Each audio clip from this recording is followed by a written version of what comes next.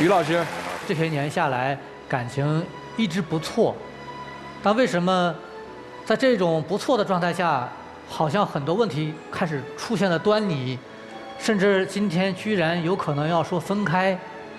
那我想，尤其对我们这位大姐来讲，可能也随着年龄的增长，也越来越有一种不安全感。所以我觉得这个时候来考验，你只要说考验，这事就不地道。您不妨说，我就想把这房子让我儿子住，不是考验，我给您商量。如果实在不行，我们再想别的办法。都二十多年了，你还在考验我？二十多年你在干什么？那我相信大姐心里就寒了。那他还怎么能够给你继续过下去呢？但也话也说回来，这么长时间连证都没有解决，也大概提示两位在处理问题上一直有点拖泥带水。我希望这次不要。好，谢谢于老师。谢谢于老师。严老师，呃，大姐你自己没有房子吗？我自己没有房子，其实我越听我越替你担心，真的担心。你知道他为什么会要把房子全部给儿子，而不是像两位老师说的，其实是人之常情，大家都知道的，我们给孩子提供一个首付。其实很多父母都会做这样的选择，自己要想好自己的养老，对吧？这是放在第一位的，我老了。第二位要给孩子尽量提供一些帮助，这是人之常情。为什么他想不到？他一定要把房子全都给了儿子，他一定要背着你瞒着你，给前妻哥哥的孩子那八千块，经常和前妻还有儿子一家三口出去吃饭吃很晚，背后有可能是什么？你可能都没有想过。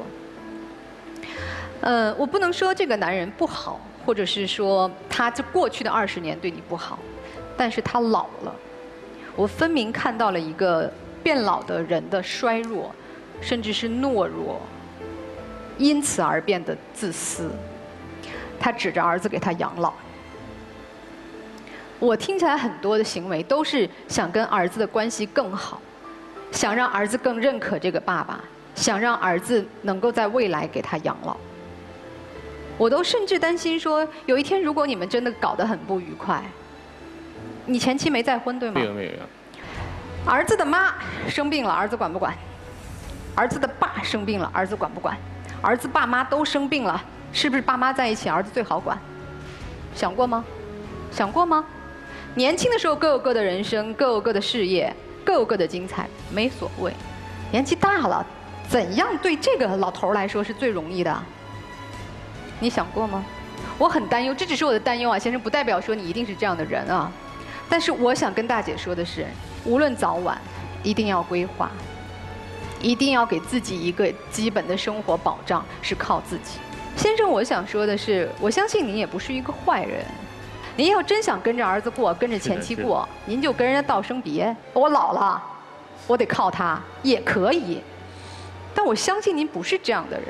那么，给咱们过去二十年生活一个交代，给儿子一个成长的机会。你要真想让他孝顺你，他必须学会成长和独立。你都替他办了，他将来不会孝顺你的。多大能力帮多大忙，没能力先把自己的养老生活安排好，行吗？谢谢严老师啊，来涂老师，你自己也有儿子，对吧？对，你怎么会流落街头呢？因为几十年来没怎么管儿子，跟儿子没什么感情。从这个角度上来说，你觉不觉得你的人生其实也挺自私的？所以你这个人怎么评价你呢？简单，但有点不负责任，对自己也不负责任。一个男人跟你在一起十九年都不娶你，不跟你领结婚证，这是一种不尊重。对自己不负责任，对孩子也不负责任。所以你自己在这方面，对于一个家庭来说，尤其是对于他这样一个想要一个完整家庭的男人来说，你的这一点，他觉得是一种自私。所以你想想看，你不愿意跟他生女儿，那么他每次跟前妻和孩子在一起，那一家人的感受，好吧，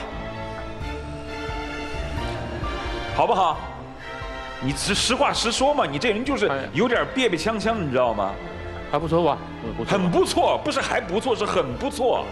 甚至，我都怀疑你跟前妻、跟你的儿子在一起吃饭吃到很晚的时候，你甚至都在想象，如果一直以来我们就这样多好。因为人一旦年纪越来越大，其乐融融的家庭氛围是很重要的。所以，甚至您脑海里都想过要复婚的想法。这个没有，嗯，好吧这，个这个你是非要表妹来才会承认。你想把这个房子完完全全的交给儿子，不是简简单单的把房子给了儿子，而是把你们这十九年在那个房间里的幸福都抹掉了。这样做的确不厚道。事实上，这个房子应该有他的一半，应该有他的一半。如果你还是个有良心的男人的话，你应该给他一半，因为为什么呢？你你是有很多条退路的人。啊，又有儿子，前妻又没结婚，然后呢还可以一一一家三口在一起，他是一点退路都没有，所以现在所有的天平都靠在了您的良心上。这位老师的意见啊，他一个一个嗯共同的特点就是说，要房子要给你一半，我儿子拿一部分钱出来，我们再拿一部分钱出来，那我不会，那为什么不会我们交个首期首付，我们自己买房子呢？好，你不是有一帮了吗？我还没说完啊，大哥买房子，我们怎么贷款啊？我们这个我还没说完啊哎，你为什么非要让他出那套房子呢？因为这个比较省事，那个小孩比较省事儿，十九年省不省事儿？小孩儿现在要结婚，十九年省不省事儿？我问你，你跟他在一起十九年的点点滴滴，就这么省事儿？儿子的婚姻幸福生活跟你们这十九年比起来，你们的这十九年就如此不屑一提？我觉得你是有点欺负人了，你欺负他傻，是他不愿意，当时对他傻吗？你看这话说的，你看是他不愿意，你还一怪我这他傻吗？他就傻吗？行，怎么做决定是你自己的问题，但每个人在做选择的时候要经得起自己良心的拷问。良心这东西，你在乎它，它就重值千金；你要是不在乎它，也就不值一提了。就这样。好，谢谢涂老师。嗯，好，谢谢各位，谢谢老师。下面的时间就这一分钟，希望你们抓紧。也许是人生你们俩最后一次真诚面对的事情，也许人生路很长，所以下面这一分钟该怎么说？是不是由心而说？大哥呀，这事儿很重要啊！来，接下来一起进入抖音真情六十秒。那我先说吧，感谢那个主持人，感谢各位老师。反正，嗯、首先那个房子哦，我明确表态，还是继续我们住。我回去了做儿子工作，就按照这个各位老师，嗯、的意见啊，尽量加紧时间，嗯、为儿为儿子啊买那个首套房，能有多大的努力就出多大的力嘛，哎。反正我跟他也这么多年了，是吧？虽然没领证嘛，他也也是跟正式的夫妻一样的生活的，呃，感情还是挺好的。就是矛盾嘛，每家都有的。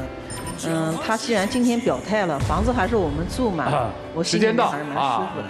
哎，大哥，你没说结婚的事儿哎。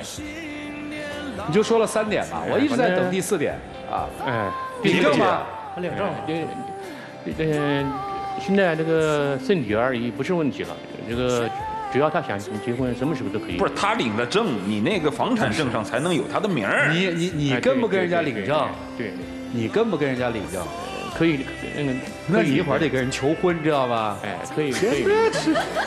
这个饿了吧？急了这个没有，这个没有。好了好了好了，请回请回请回回回回啊谢谢谢谢，请回请回。今儿来对了，哎，对，要不还糊涂着呢，对呀稀里糊涂的请关门最后